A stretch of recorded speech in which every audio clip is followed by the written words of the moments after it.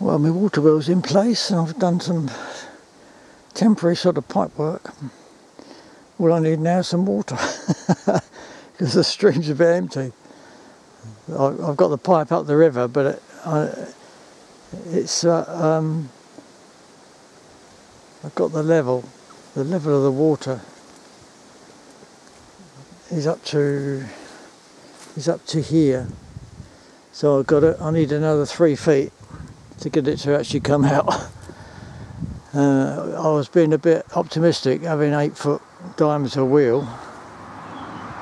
Uh, I've got to go up the stream quite a long way to get eight feet. Still,